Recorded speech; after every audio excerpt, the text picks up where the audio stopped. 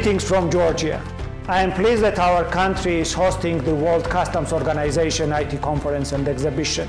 I welcome all of you to our beautiful country and I am sure that your visit will be very pleasant and productive, full of very important results. We highly believe that secured, sustainable and reliable flow of the data across the borders, precise data analysis and data-driven transparent decision-making process is the milestone for encouraging the taxpayer compliance, addressing the multiple challenges of the customs administration and our partners.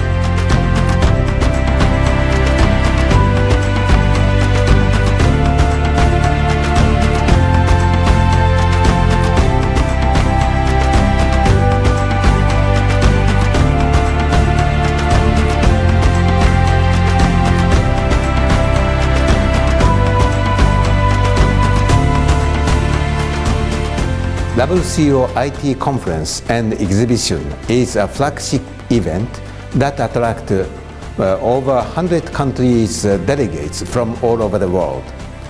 This is a great event for custom business partnership where representatives from customs and the private sector gather in one place to share the ideas of the latest development of information technology and its application on strategic and uh, technological levels. We are hosting uh, this 16th uh, um, event this year in Tbilisi, Georgia. The power of data is very much the theme of this year. So it's very much important um, given that data-driven um, decision is at the core of border management, that we talk about data, data mining, data collection, data analysis, data governance, data security, and many other data-related topics. We will also focus on disruptive technologies such as blockchain, uh, on how it would uh, help us facilitate and secure global trade. Of course, there are other new topics and elements and uh, this is why I would like to invite you to share your ideas and contribute to our uh, event.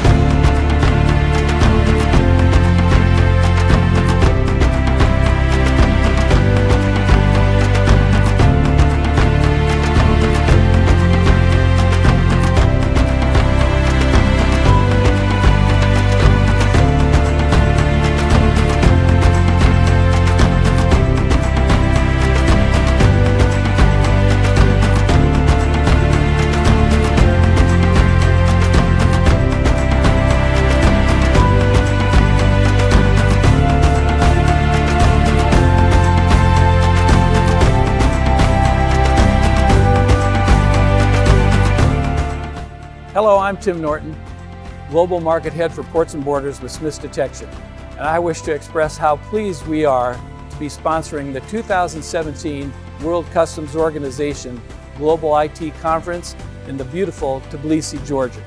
As such an important event to be part of, Smiths Detection believes that this is the event for 2017 for any customs administration to see firsthand the exciting future for big data and analytics as part of their digital transformation.